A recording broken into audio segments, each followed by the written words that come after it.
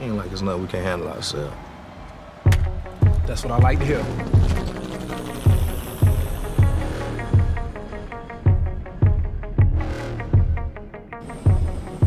Uh, they say the good die young. I guess I'll be here forever, a step away from the edge. La respuesta directa de otro estudio, Visceral Games, a modificar lo que significaba o no la saga de Army of Two.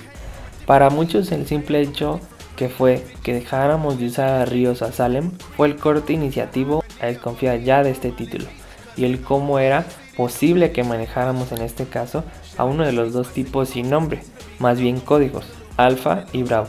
Era muy risible para algunos, pero por lo mientras de mi parte quedó seguir las riendas. Siempre amé estos juegos, los seguí de principio a fin y siempre me resultaron interesantes en esta cuestión de la cooperativa, los lugares a los que iban, más aparte toda la relación de compañeros como la modificación de armas, la máscara, las máscaras, todo.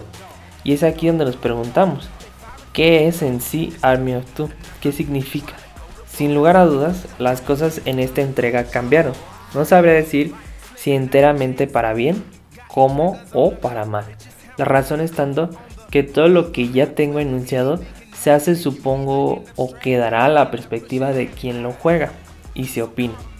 Por decir, para mí la cobertura fluida de como lo era en los anteriores dos juegos, sí la encuentro fantástica, pero al mismo tiempo como lograba ser innovador, había algo atípico que hacía que casi no la utilizaras.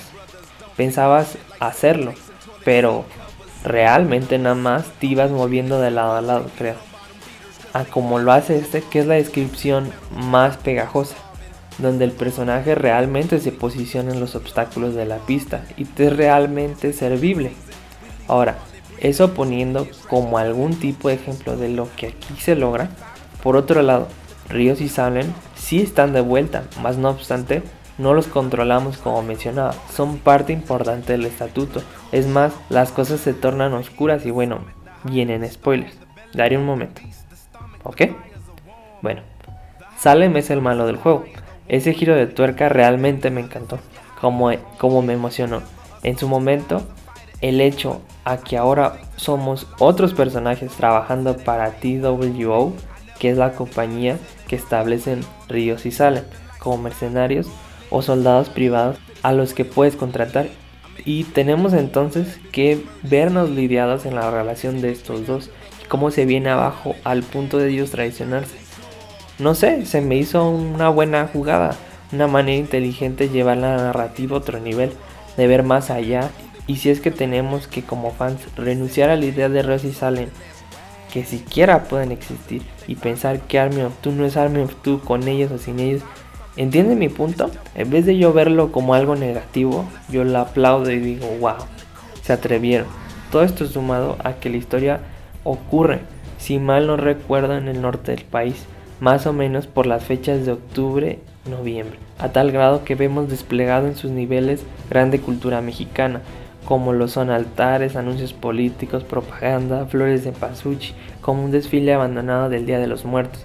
Yo quedé impresionado al final, porque el juego toca temas fuertes siendo que Bravo y Alfa, su misión siendo pelear contra el narco. Y si mal, no vuelvo a recordar, cuando se lanzó este juego causó un poco de revuelo, controversia por el tema que tocaba tan reciente en ese contexto, como una mirada de ese entonces, en donde el país estaba en el auge histórico de esa era, peleando por pueblos, calles pintorescas o al lado de policías que asimilan los trajes de la AFI. No sé, a mí sí me toca el juego, pensar estar un poco más cerca de casa, de ese tema tan arraigado a lo que somos, fuimos y seremos, supongo un problema humano, una paradoja.